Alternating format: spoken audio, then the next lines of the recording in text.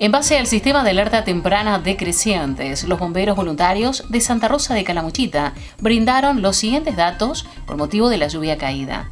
Champaquí 44 milímetros, Tres Árboles 47, Río San Miguel 30, Río Tabaquillo 42, Unión de los Ríos 29, Seminario San Alberto 36 milímetros, La Cascada 61, Santa Rosa 93 milímetros, mientras que la altura decreciente en Río San Miguel fue de 1,55 m en bajante, Río Tabaquillo metros 60... Unión de los Ríos metros 17...